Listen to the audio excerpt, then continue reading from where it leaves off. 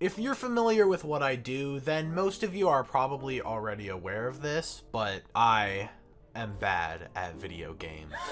I know, I know. It's a shock. Everyone thinks I'm the number one esports gamer of all time. That's just how I expertly depict myself in my videos. But in reality, there are actually many moments in the past where I've gotten things wrong because of skill issues. So when I saw this video by Skoottie, eating every mushroom in the Mario games, I thought, man, this looks like fun.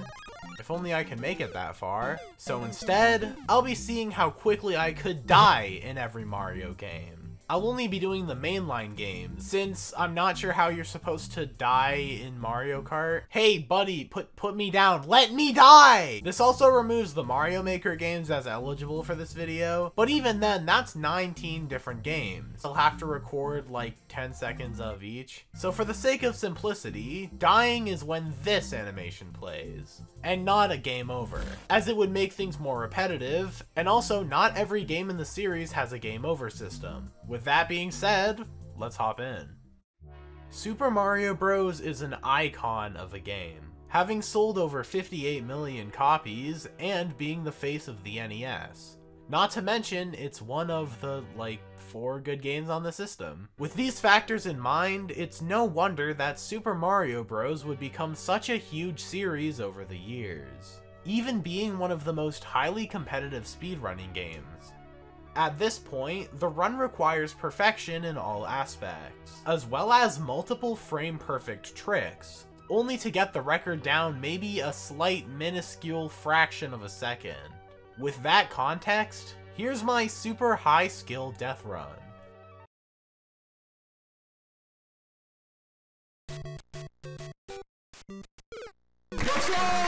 So the speedrun route is very high-tech and complicated, especially if you're not a professional gamer. So let me break things down. First, we strategically run towards the Goomba, then we die. This is how a lot of the early 2D Mario games play out. Mario 2 Japan is much of the same, I'm playing it on the Super Nintendo version. And Mario 2 North America has you falling directly into a Shy Guy as that game starts with you falling from the sky. Mario 3 has you navigating the map before dying, but generally, the NES Mario games are very straightforward. The same applies to the Game Boy games. But because they're even smaller games on a smaller system, the size of the levels is smaller, allowing for even faster times. But things are only getting more advanced with Super Mario World. Here's where we see the first thing introduced to make these runs longer. Unskippable cutscenes. While it isn't too cinematic, the text here can't just be skipped past, so it adds extra time to the counter. Much like Mario 3, you need to navigate an overworld map before dying immediately. This gives us two paths to go down in terms of speedrunning.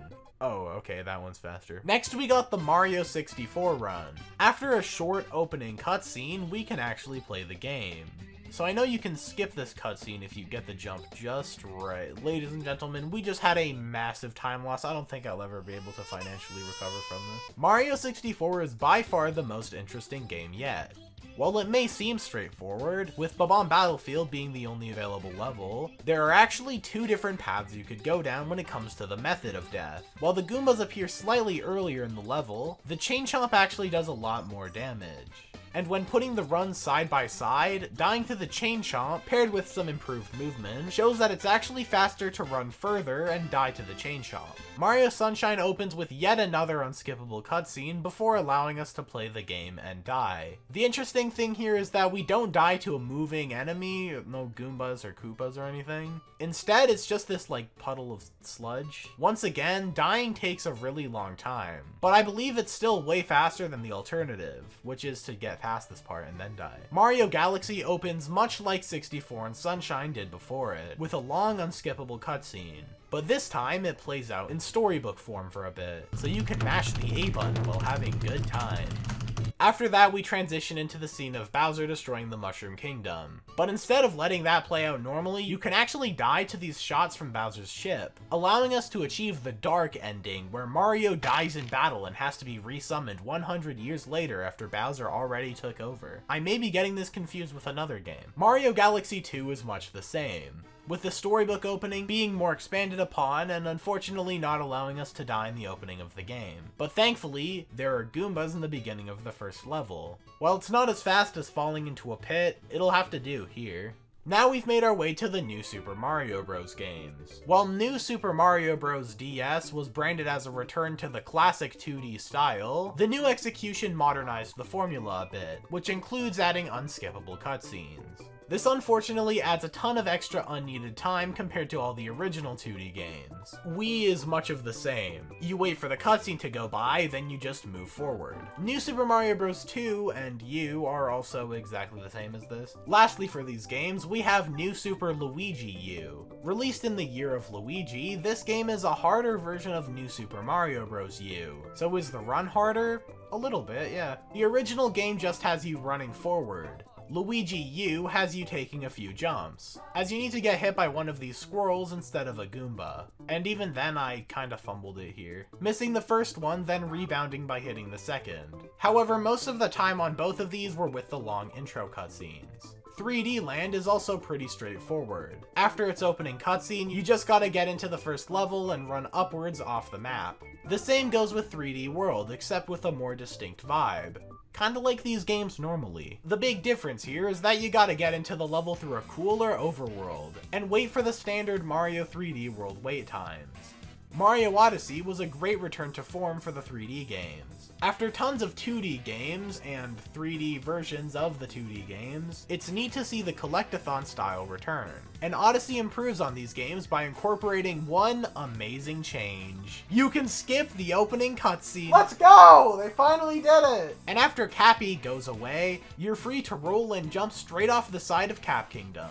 And as a bonus game, of course we gotta play Super Mario 35. Oh. It looks like that game did it for me. So after compiling the data into a Google spreadsheet, it's time to take a look at the results.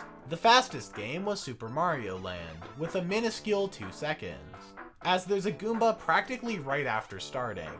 The longest run was Super Mario Galaxy 2, as there's no way to die until the first level of the game.